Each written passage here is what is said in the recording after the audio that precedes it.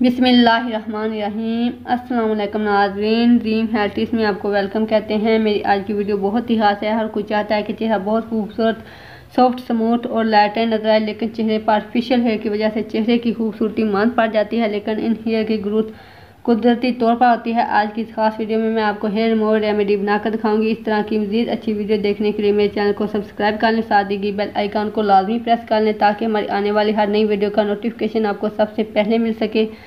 आज की जो होम रेमेडी है, इसके लिए मैं चाहिए सबसे पहले आप साफ़ प्याली ले लें। इसमें एक चम्मच बेसन ऐड कर लें। बेसन जल्द की गहराई में मौजूद मैल और गंदगी को आसानी से साफ़ करता है। इसके इस्तेमाल से स्किन सॉफ्ट और स्मूथ होती है। और एक्सफोलेट का काम करता है। बेसन फेशियल हेयर को आसानी से खाने में मदद देता है।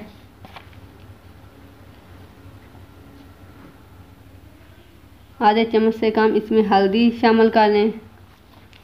हल्दी खूबसूरती के लिए ज़माना कदीम से हल्दी के इस्तेमाल को बेहतरीन माना जाता है और दिल को खूबसूरत बनाने के लिए हज़ारों साल से इस्तेमाल हो रही है।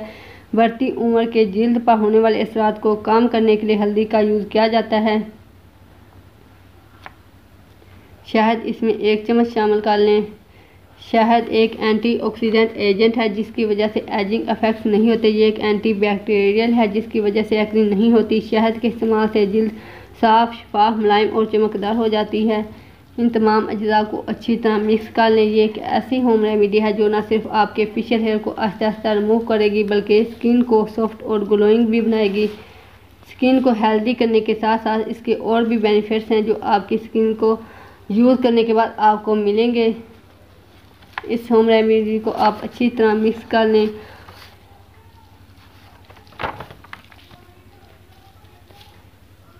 इन तमाम अज्जा को अच्छी तरह मिक्स कर लें। जितनी अच्छी मिक्सिंग होगी, इतना ही अच्छा आपको रिज़ल्ट मिलेगा। सबसे पहले अपने चेहरे को धो लें, फिर इस पेस्ट को अपने चेहरे पर अप्लाई करें। और ड्राई होने के बाद नीचे से ऊपर की जानब हल्के आस से स्कब करते हुए उतार लें स्कब करने की सूरत में ब्रीक ब्रीक सी बत्तियाँ बनकर उतरेंगी, जिसकी वजह से फेशियल हेयर को खिंचाव पड़ेगा और वो ब्रीक होते जाएँगे।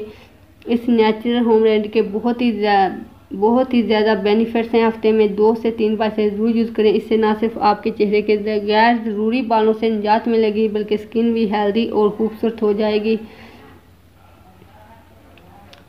जिस तरह मैं अपने हाथों पर आपको लगा कर दिखा रही हूँ, बिल्कुल इसी तरह लगाएँ और स्कब करते हुए उतार। लें अगर आप लोगों को आज की मेरी वीडियो पसंद आए तो इसे लाइक एंड शेयर ज़रूर करें। नेक्स्ट वीडियो तक के लिए अल्लाह हाफिज़।